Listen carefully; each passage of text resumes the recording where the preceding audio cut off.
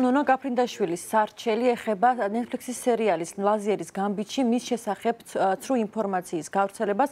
უფრო კონკრეტულად კი სერიალის ერთ-ერთ ეპიზოდში ერთ-ერთი პერსონაჟი ამბობს, რომ ნონა გაფრინდაშვილს არასოდეს უთამაშია კაც მოჭადრაკეებთან, მაშინ როდესაც ის 1963 წლიდან აქტიურად ერთვებოდა მამაკაცთა ტურნირებში.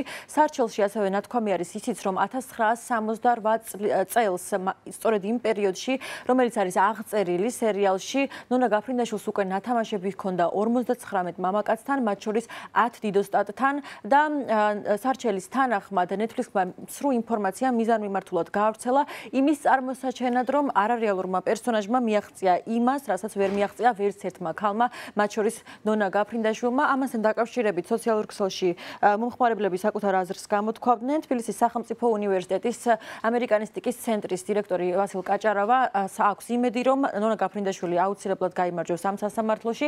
ის წერს, გასაგებია რომ ხატრული ფილმია და შელამაზება და განზოგადება ხდება, მაგრამ როდესაც კონკრეტულ ისტორიულ პიროვნებას ასახელებ, უნდა უფრო ზუსტი იყო. უწესობა არავის ამშვენებს აცხადებს ვასილ კაჭარავა. ასევე New York Times-ის რეპორტიორი წერს, რომ ის ესაუბრა ნონა გაფრინდაშვილს და ნონა გაფრინდაშვილის განცხადებით არის ძალიან შეურაცხყოფილი და აცხადებს, რომ მის მთელ ცხოვრებას ხაზი გადაუსვეს ამ ერთი ეპიზოდის საშუალებით.